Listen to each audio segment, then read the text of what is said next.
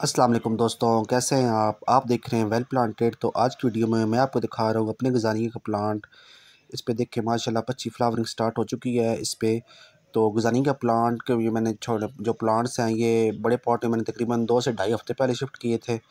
तो उस पर मैंने वीडियो भी बनाई थी। तो गुजानी का प्लांट ऐसा सीजनल प्लांट है, जिसको फुल डे धूप की ज़रूरत होती है। जितनी अच्छी धूप इस पर पड़ेगी, जितनी अच्छी धूप इसको लगेगी इस पर इतनी ज़्यादा अच्छी फ्लावरिंग भी होगी और ग्रोथ भी अच्छी होगी प्लांट की।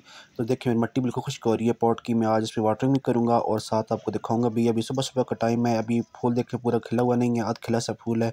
जो जो दिन की धूप तेज़ होगी तो फूल इसी तरीके से खिलेगा।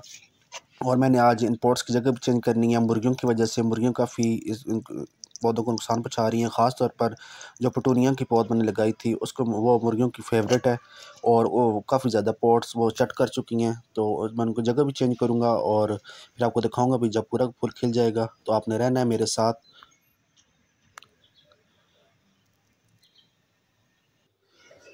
जी तो अब दिन के बारह बज चुके हैं तकरीबन तो अब आप देख सकते हैं फूल का साइज़।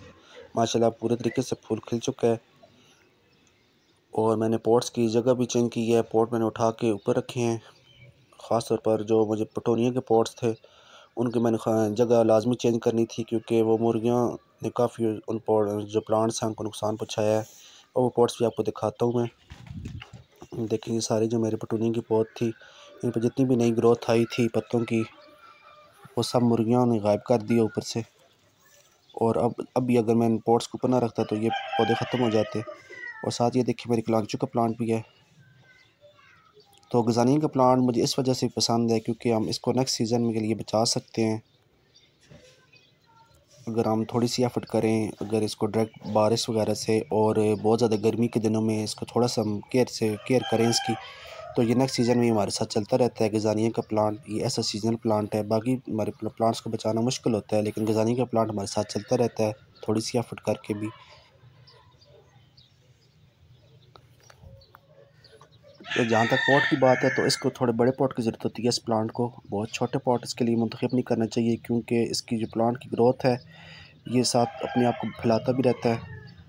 तो इस वजह से यहाँ मेरे बच्चों को छुट्टी हो गई थी तो अब इनके होते हुए वीडियो बनाने मुश्किल लग रही थी। मेरे बेटा बेटी स्कूल से वापस आ गए थे। तो मैं वीडियो यहीं एंड करूँगा और साथ दुआ भी करूँगा सारी बेटियों के लिए जिन जिन की बेटियाँ हैं। अल्लाह पाक तमाम बेटियों की नसीब अच्छा करे और अल्लाह पाक जिन जिन की बेटियाँ हैं, तमाम को खुश रखे आबाद रखे और अच्छी सेहत तंदरुस्ती दे तमाम बच्चों को। तो इसी दुआ के साथ मैं आपसे इजाज़त चाहता हूँ और शरारतें देखें आप स्टार्ट हो रही हो गई हैं साथ साथ मैं आपसे इजाज़त चाहता हूँ, मेरी वीडियो को लाइक कर दें और मेरे चैनल को सब्सक्राइब कर दें। आपसे इन मिलता हूँ जी नेक्स्ट वीडियो में किसी नए प्लांट के साथ, किसी नए टॉपिक के साथ। तब तक के लिए आपसे इजाज़त चाहता हूँ, अल्लाह हाफिज़।